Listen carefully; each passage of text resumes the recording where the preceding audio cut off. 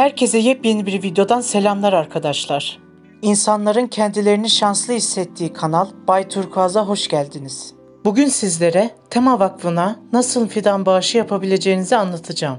Türkiye'nin belirli yerlerinde yaşanan yangınlar sonrasında Tema Vakfı fidan bağışı kampanyası araştırma konusu oldu. Tema Vakfı sosyal medya hesabından 30 Temmuz saat 12'de tekrar ağaçlandırma kampanyasının başlatılacağını bildirdi. Bu paylaşım sonrasında orman yangınları için fidan bağışında bulunmak isteyenler detayları araştırmaya başladı.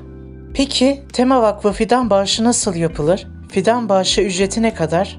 İşte Tema Vakfı fidan bağışı ekranı ile ilgili detaylar. Adana, Osmaniye, Mersin, Kayseri, Antalya'daki yangınların ardından bugün de Antalya'nın Alanya ilçesi ve Aydın'ın Didim ilçelerinin yanı sıra Kilis ve Muğla'nın Marmaris ve Bodrum ilçesinde yaşanan orman yangınları sonrası Tema Vakfı kampanya başlattı. Birçok ilde yaşanan orman yangınlarının ardından hep birlikte yaşamı da umudu da yeniden yeşerteceğiz sloganı ile başlatılan Tema Fidan kampanyasına vakfın internet sitesi üzerinden katılım sağlanacak. Tema Vakfı gönüllüsü olmak isteyenlerin de kayıt formunu doldurması gerekecek. Tema Vakfı ağaçlandırma kampanyası ekrandaki internet sitesi üzerinden bağış yap ekranı ile gerçekleşecek. Fidan birim bedeli ise 13 TL'dir. Bu sayfada karşınıza çıkan bağış yap ekranına tıklayarak fidan bağışını yapabilirsiniz.